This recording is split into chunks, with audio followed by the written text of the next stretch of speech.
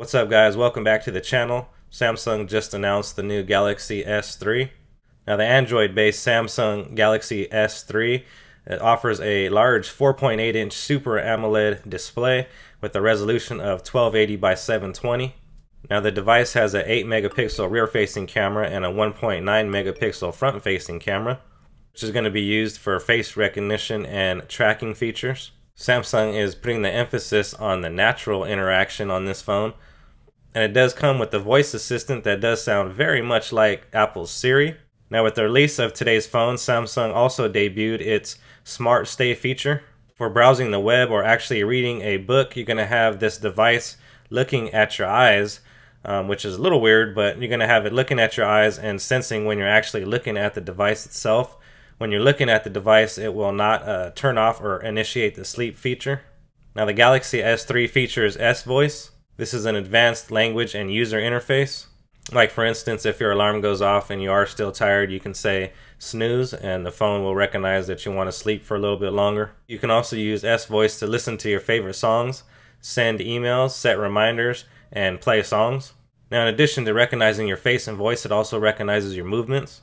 So for instance, if you're messaging someone and you decide to put the phone up to your ear, it's going to automatically call that sender and know that you chose to change your mind and make the call instead of sending the text message. Another feature announced was pop-up play, which allows users to play videos on their screen while using apps.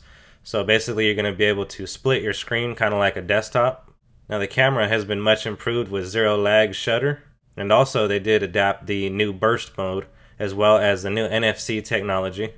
Samsung has also partnered with Dropbox for users of the Samsung Galaxy S3 to receive 50 gigabytes of data free for the next two years. This is a deal that will be extended to all Samsung users, and uh, Dropbox will also be a standard application that Samsung will be putting into their OS from now on. Now, the upcoming iOS 5.1 untethered jailbreak will require 5 to 7 exploits, says Pod2G and p0sixninja. Both the introducers of the untethered jailbreak go on to say in a tweet that this is one of their hardest jailbreaks that they've ever had to accomplish.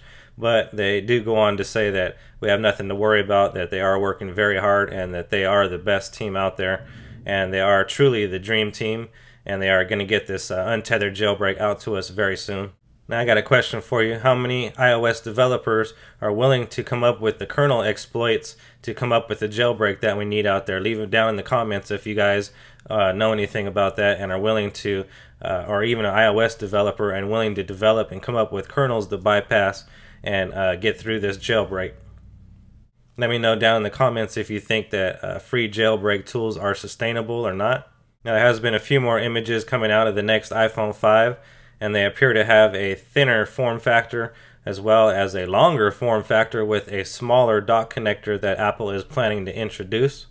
Now here's a couple of things that we pretty much know for sure and can guarantee that the iPhone will be thinner and will be a little bit longer.